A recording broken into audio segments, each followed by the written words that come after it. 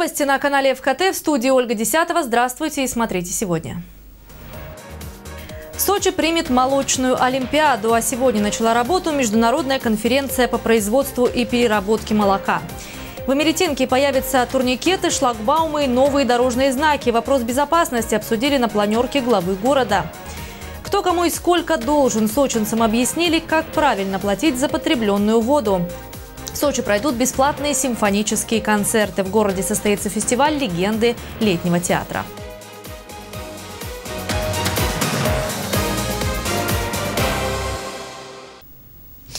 В школах Краснодарского края организуют туристические походы. Возрождение этой традиции Вениамин Кондратьев обсудил с кубанским путешественником Константином Миржоевым. Недавно Мержоев вместе с воспитанниками Центра туризма и экскурсий вернулся из экспедиции «Дорога героев», которая длилась почти два месяца. За это время они обогнули практически весь Северный Кавказ по следам боевого пути 4-го гвардейского казачьего кавалерийского корпуса. Прошли больше четырех с половиной тысяч километров по территории Кубани, Абхазии, Грузии, Азербайджана, Дагестана, Чечни, Ставропольского края и Ростовской области. По мнению главы региона, этот поход сделал для молодых людей гораздо больше, чем постоянные разговоры о патриотическом физическом воспитании. Многие э, пути, в том числе боевые, являются предметом на уроках истории. Вот один ваш маршрут, один ваш этот поход, 57 дней, я уверен, заменит сотни уроков истории в школе. И нам сегодня самое главное, чтобы вот такие живые уроки в школе – в виде вот этого маршрута с точки зрения именно похода максимально были традиционными для кубанских сегодня школьников и молодых людей. Есть задача, чтобы хотя бы треть школьников у нас входила в походы регулярно. Возрождены маршруты, которые вот в советское время были, которые были заброшены, закрыты, и там были проблемы по частной собственности, как через нее там проходить. Ну, вот такие вот все вот вещи. И маршруты для для новичков, для тех, кто только ну, впервые, скажем, идет в походы. И маршруты сложные для тех, кто уже много раз ходил. Уже в следующем году планируется, что походы по маршрутам памяти будут проводить в каждом районе Краснодарского края. Занимать они будут не больше недели, а затем организуют большой сбор всех участников экспедиции. Сами путешествия, они как раз дают то, что ты осознаешь на самом деле, кто ты в этом мире и какие люди вокруг тебя. То, что они такие же, как и ты, живут точно так же, такие же у них проблемы. Я думаю, что чем больше мы будем заниматься этим делом, тем будет лучше. Историю свою забывать нельзя, про категорически нельзя забывать. Россия имеет колоссальную историю. И у нас есть кем гордиться, и что, на кого смотреть и брать примеры. Вот здесь вам э, хочу сказать огромное личное спасибо за то, что на самом деле вы этим живете. Вы живете молодежью, вы живете э, в будущем края, потому что это сильные ребята, которые будут делать край сильным. В противном случае, э, я еще раз хочу подчеркнуть, что их сверстники сидят в интернетах. Да, это сегодняшний день. Безусловно, и мы его не можем э, сегодня взять и отодвинуть. Но есть альтернатива. То есть надо брать и показать им, что еще есть другой путь. Есть другое не времяпрепровождение, а есть другая жизнь. Инструкторов для сопровождения школьников в походах обучают на базе Краевого центра туризма и экскурсий. Только в этом году там подготовили порядка 500 специалистов. Сам же путешественник Константин Миржоев готовится к новой экспедиции, тоже по дорогам героев 4-го казачьего кавалерийского корпуса, но уже по европейской части. Инга Габеша, телекомпания ФКТ. Восток – дело выгодное. Краснодарский край подписал меморандум о сотрудничестве в инвестиционной сфере с Международной ассоциацией исламского бизнеса. Возглавляет ее Марат Кабаев. Сегодня с ним встретился губернатор Кубани. Вениамин Кондратьев и президент некоммерческой организации Марат Кабаев обсудили возможные направления сотрудничества. Для нас не принципиально национальность бизнеса. И неважно, какой бизнес делает наш край сильнее, экономически сильнее, даст динамику у э, всех отраслей экономики. Конечно, мы готовы предоставить и площадки для инвесторов, то есть под любые виды деятельности. Конечно, для нас сегодня очень интерес огромный вызывает промышленность. Мы готовы к любому виду сотрудничества, к любому, который даст нам дивиденд, как я уже сказал, и в экономике, и в целом в жизни. А самое главное, поддержит ту стабильность, которая сегодня есть, социальную стабильность, экономическую стабильность, политическую стабильность в нашем регионе. То, что по инвесторам, это действительно очень э, сейчас многие желают, вот, э, изъявили желание, да, допустим, э, войти в Россию вот, по всем регионам. И им интересно, конечно же, сельское хозяйство и строительство. Ассоциация, которую возглавляет Марат Кабаев, помогает бизнесменам со всего мира в поиске партнеров. Активно сотрудничает с предпринимателями Малайзии и Индонезии.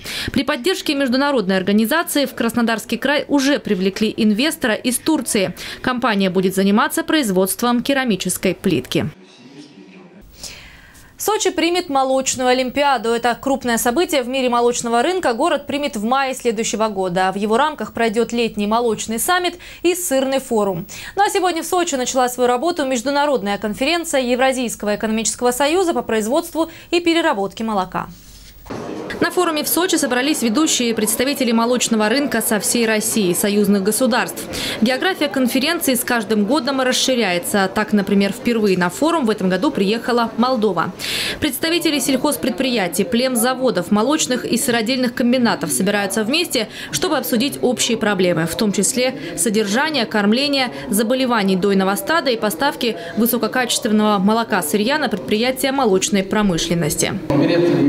Перед Минсельхозом России стоит задача дальнейшего стимулирования привлечения инвестиций в молочное скотоводство и создания как крупных высокотехнологичных предприятий, так и средних, мелко товарных предприятий, ферм с использованием современных технологий в содержании и кормлении стада. На форуме отметили, что молочная отрасль – это приоритетное направление в нашей стране, поэтому оно активно поддерживается государством. И уровень господдержки в этом году остается на уровне прошлого года. Форум будет работать в Сочи три дня. Как отметили его участники, ежегодная конференция стала эффективной площадкой для диалога науки, бизнеса и государства. На Меретинской набережной появятся турникеты, шлагбаумы и новые дорожные знаки, запрещающие движение авто и мототранспорта. Вопрос безопасности обсудили сегодня на планерном совещании главы города. Основным в повестке стал и пункт о подготовке к фестивалю молодежи и студентов. Не обошли чиновники и самую обсуждаемую тему в городе – водоснабжение. Все подробности у Инги Габешия. В городе снова череда событийных мероприятий. Новую волну сменит фестиваль молодежи и студентов. Разговор о завтрашнем дне молодые люди со всего мира начнут в Сочи 14 октября. А вот подготовка к международному событию должна вестись уже сегодня, подчеркивает Анатолий Пахомов. Глава города отмечает, принимать десятки тысяч гостей. Курорт будет в период бархатного сезона, при том загруженным на 89%.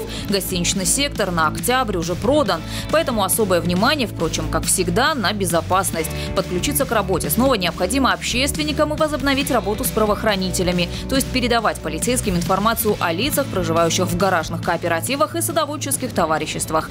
Благодаря такой схеме только за месяц стражи порядка составили 50 уголовных дел по фиктивной регистрации иностранцев. Основное же место проведения фестиваля молодежи – Олимпийский парк. Там, говорит Пахомов, необходимо пресечь незаконный бизнес местных предпринимателей, который, ко всему прочему, небезопасен. Электро- и мототранспорт, который сочинцы и туристы берут на прокат, становится причиной ДТП. Я прошелся по набережной, увидел многочисленное значит, количество э, гонщиков на этих электровелосипедах, потом как электросамокатах. Ну, все, что можно, все там неслось опять, скорость не меньше 50 километров. Это ужас, конечно. У нас сегодня в Америтинской низменности э, даже дети дошкольного возраста едут за рулем этих транспортных средств. Это безобразие. До 10 октября, требует мэр, в Эмеретинской низменности не должно быть ни одного, в том числе двухколесного транспорта с электродвигателем. На въездах могут установить и турникеты со шлагбаумами. Также глава города потребовал установить в Эмеретинке вывески, предупреждающие о запрете пользования техническими средствами передвижения. У Департамента оформления дизайна городской среды три дня на изготовление таких информационных плакатов. Это в первую очередь наши предприниматели Адлерского района – которые неуправляемые, И они плевать хотели на сотрудников полиции, которых их предупредили. Надо корень искать. А корень это прокатчики.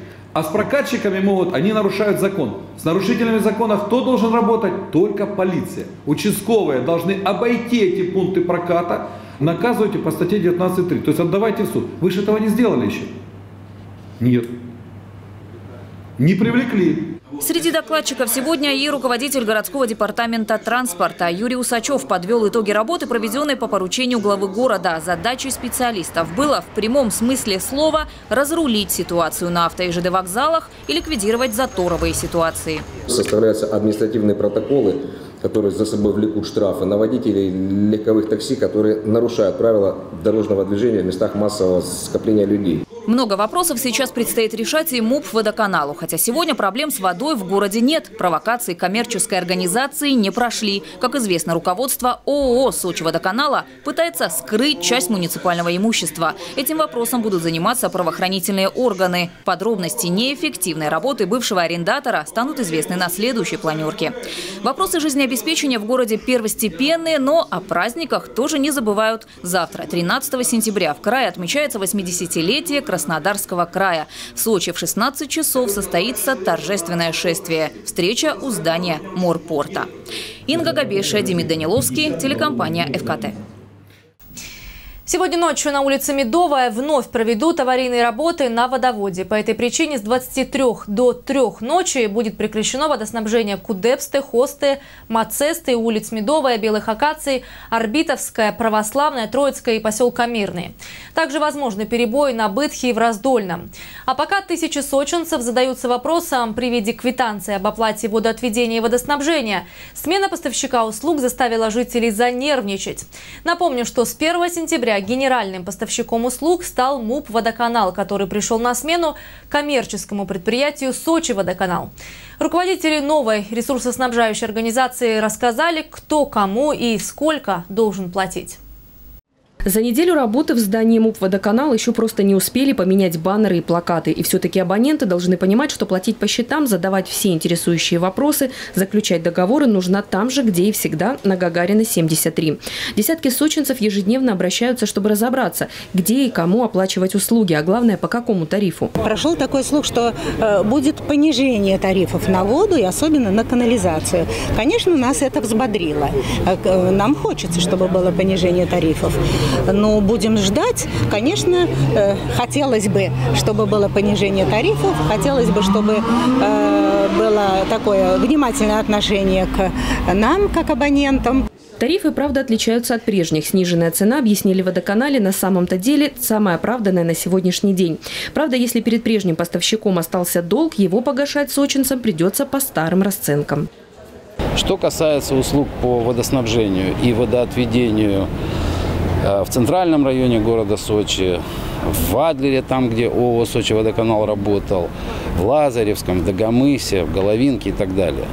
За июль и август услугу эту оказывало предприятие, которое называется ООО «Сочи водоканал». Оплачивать свои долги перед прежним поставщиком УП «Водоканал» настоятельно рекомендует, но стоит обратить внимание, какой предлагается счет для оплаты. Многие абоненты недавно получили квитанции с реквизитами компании ООО «АБВК». Юристы в этом случае остерегают плательщиков, как бы потом не получилось, что деньги отправили, а долг перед ООО «Сочи водоканал» остался. Принципе, 416 федеральным законом о водоснабжении и водоотведении он не запрещает заключать э, организации ресурсоснабжающие агентские договоры. Но 103 э, закон, который как раз-таки регламентирует, повторюсь, их деятельность, он указывает именно то, что агент вправе действовать, но только по приему наличных денежных средств, а не безналичных. Таким образом, если платить, то только на счет ООО «Сочи водоканал». Генеральным поставщиком по водоотведению и водоснабжению МУП «Водоканал» стал после подписания главой города постановления. Позже состоялся суд, где переход права на работу МУПа снова подтвердился. Платить за услуги водоснабжения и водоотведения новому поставщику сочинцы будут только с сентября в соответствии, опять же, с решением суда и постановлением главы города. Услуги водоотведения и водоснабжения практически во всем городе оказывает МУП город Сочи водоканал. Соответственно, в конце месяца придут наши платежки со счетом, и вот тогда нужно оплачивать нам за э, сентябрь месяц. Исключение только для Адлерского района. Там МУП «Водоканал» генеральным поставщиком услуги по водоотведению стал еще 1 июля. До сих пор ООО «Сочи водоканал» не передал новой организации ни базу абонентов, ни прочую документацию. А пока приходится едва ли не заново восстанавливать именно тех, кому нужно поставлять воду. Галина Моисеева, телекомпания ФКТ. Состояние и перспективы развития высшего образования в современном мире. Под таким названием в Сочи сегодня открылась международная научно-практическая конференция. Она проводится Международным инновационным университетом совместно с Фондом развития отечественного образования, расскажет Елена Овсецина. В рамках Всероссийской недели вузовской науки в Сочи собрались ведущие преподаватели вузов России, США, Франции и Германии. Площадкой для дискуссий традиционно стал Международный инновационный университет. Открыл конференцию председатель оргкомитета, академик, доктор педагогических наук Михаил Бирулава.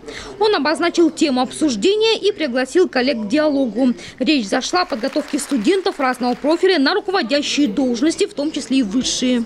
В основе деятельности менеджера высшего звена обязательно лежит необходимый высокий уровень практического и социального мышления. То есть на основании этого он будет строить грамотные межличностные деловые отношения, понимать, интерпретировать поведение других людей, свое поведение, управлять коллективом. Но пока в вузах таких учебных программ нет, а чтобы двигаться вперед, необходимо сделать анализ состояния российского высшего образования. Этим и занимались сегодня участники международной научно-практической конференции. Сегодняшнее очень короткое выступление мое именно будет посвящено проблеме междисциплинарности, как а, междисциплинарности исследований, которые, на мой взгляд, сегодня архиактуальны а, для того, чтобы действительно вот в этой очень сложной и неопределенной ситуации поиска стратегии, вектора, тенденции, методов развития современного образования каким-то образом определиться. теме обсуждения современного состояния и перспектив развития высшего образования в современном мире подключились и зарубежные преподаватели. Во Франции 79% это государственное финансирование, а 11% частное финансирование от семей и другие частные источники. 10% от компаний, которые спонсируют обучение. Всероссийская неделя вузовской науки продолжается. Ученые намерены детально обсудить развитие образования в мире.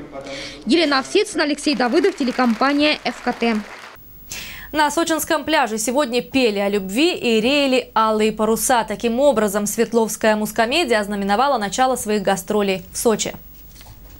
Артисты с большой буквы, они решили даже пресс-конференцию превратить в театральное действо. Тон задали солисты мускомедии, им и оркестр не нужен.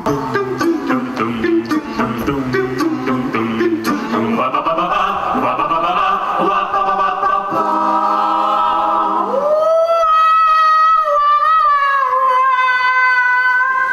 открытой террасе реют алые паруса. Это символ одного из спектаклей театра, музыку к которому написал Максим Дунаевский.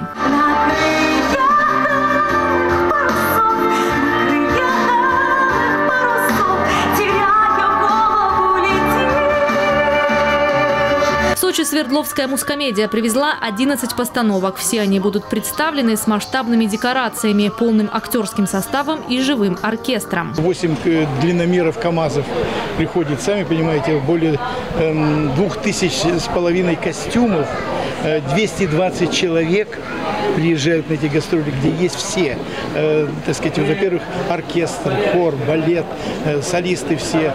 Э, то есть мы при полном параде, при полном наборе э, всех наших звезд, которые у нас есть в нашем театре.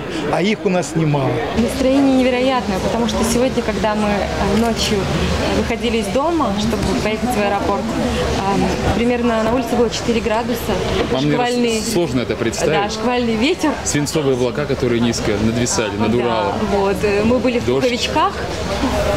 И через три часа мы оказались в раю. Ура!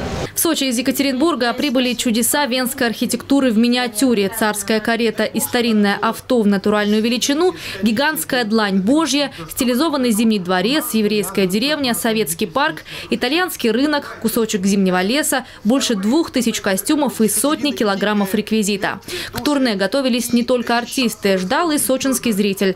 На курорте за полгода прошло немало мероприятий, анонсирующих масштабные гастроли. Такой системный характер работы, взаимодействия администрации города с таким прославленным, с таким замечательным, с таким знаменательным совершенно театра музыкальной комедии Свердловской музыкальной комедии для нас, для нашего города, это просто э, супер проект. В репертуаре лидеры проката. В Сочи покажут легенду Бродвея, мюзикл «Скрипач на крыше», стопроцентно итальянскую комедию «Черт и девственница», сценическую версию знаменитых «Веселых ребят» и новый хит Максима Дунаевского, мюзикл «Алые паруса». Некоторые постановки приехали на гастроли по просьбе сочинских зрителей. Это мюзикл «Екатерина Великая» и спектакль «Лауреат четырех золотых масок. Мертвые души». Также в Сочи пройдут «Кальмановская принцесса цирка» и две опереты Штрауса «Летучая мышь» и «Венская кровь» и ретро-ревью «Парк советского периода». Для маленьких зрителей театр запланировал многочисленные показы сказки «Секрет храбрости». В Сочи пройдут бесплатные симфонические концерты. С 11 по 17 сентября в городе состоится фестиваль «Легенды летнего театра». Он является продолжением петербургских сезонов, которые симфонический оркестр «Классика» из северной столицы проводит с 2002 года. Концерты оркестра «Классика» всегда праздник для зрителей, ведь его руководитель, заслуженный артист России Александр Канторов – необычный дирижер. Обязательным элементом всех выступлений маэстро является живое общение и разговор с публикой. Фестиваль этого года станет воспоминанием о славном прошлом советской исполнительской школы. Все это неразрывно связано с Сочи. Проект Александра Яковлевича, он настолько э, органичен, он настолько подходит нашему городу, он настолько э, хорошо вписывается вписывается в пластику нашего курортного города, что э, этому проекту прямо все сразу помогают. Это прекрасное место, где, начиная с 50-х годов, еще Евгений Александрович Мравинский, гениальный советский дирижер, э, ленинградский, начал эти сезоны. Мне это место очень дорого, еще и потому, что я играю как э, на скрипке в качестве оркестранта еще в Ленинградской филармонии. У нас здесь были сезоны, которые я, собственно, и пытаюсь возродить. Новым событием этого сезона станет симфоническая сказка для детей Сергея Прокофьева «Петя и Волк». Детский концерт пройдет 13 сентября в районном доме культуры «Аэлита» на Бытхе. В горной олимпийской деревне на Розе Хутор 15 сентября состоится программа «Вальс в горах», где прозвучат произведения Глинки, Глазунова, Чайковского, Петрова и других известных композиторов. Концерт закрытия фестиваля станет самым ярким событием, ведь он будет целиком посвящен Петру Ильичу Чайковскому. Все концерты будут сопровождаться демонстрацией видеоматериалов с выступлениями известных музыкантов, ранее принимавших участие в летних сезонах в Сочи. Вход на все концерты свободный.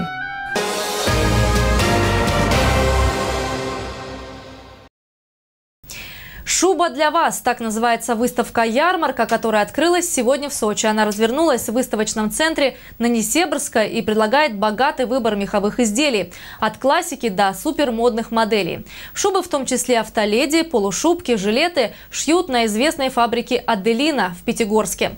Что предлагают на выставке и какие модели сегодня на пике моды, расскажем в нашем следующем материале. Тепло, практично, престижно, а еще очень красиво. Все это о меховых изделиях. Шубы, полушубки и жилетки из этого материала не теряют своей актуальности. Но не всякая шуба может служить от 5 до 15 сезонов. А мех от пятигорской фабрики «Аделина» вполне утверждают продавцы. Выбор меховых изделий богатый, как и сам мех. Качество высокое, при этом цены приемлемы. Мы представляем одну из крупнейших фабрик города Пятигорска, фабрика «Аделина». У нас большой широкий ассортимент по меху. Также есть жилеты. У нас недавно проходила всероссийская выставка, мы участвовали. Э, есть у нас выставочные модели э, в норке, в мутоне, в каракуле. На выставке в Сочи верхнюю одежду по вкусу сможет найти любой покупатель. Широкий выбор шуб, жилетов и полушубков из нежной норки. Интересная линейка изделий изнутри. Мутон, астраган премиум-класса тоже можно приобрести здесь. Или, например, редкую норку-крестовку. Много комбинированных моделей. Вот, например, афганская каракульча с отделкой из канадской норки. А это тренд сезона – норковая шубка с отделкой из питона. Это, кстати, тоже писк моды – норка цвета кабальта. Гостья выставки Ирина приехала в Сочи из Нью-Йорка. Говорит, за границей примеряла много меховых изделий. Качество пятигорского меха приятно удивило. Первое, что я померила, и вам хочу признаться, что снимать мне это не хочется совершенно. Очень комфортно и очень уютно я в ней себя чувствую. Приятная такая, мягенькая, шелковая, хорошая, очень норка, чудная. И вообще очень интересные модели, коллекции я здесь вижу просто глаза разбегаются. Покупателей приятно удивят и специальные акции. Здесь предлагают скидку от 20 до 70% в зависимости от модели. Кроме того, шубы и жилеты можно купить в рассрочку и кредит. Всю информацию о выставке можно найти на сайте «Шуба для вас» и на страничках в соцсетях. Выставка в Сочи работает до 24 сентября с 10 до 20 часов. Инга Габейша, Ольга Десятого, Николай Тихонов, телекомпания «ФКТ». Ну и в завершении выпуска информация от наших партнеров. Итальянская компания-производитель циркония проводит акцию в клинике Вале Денталь. Циркониевые коронки по цене металлокерамики. Чайковского 3, телефон 254 57 07. Ну а все новости уже на нашем сайте fkt.com. На этом я с вами прощаюсь. В студии была Ольга Десятова. Всего доброго и до встречи в эфире.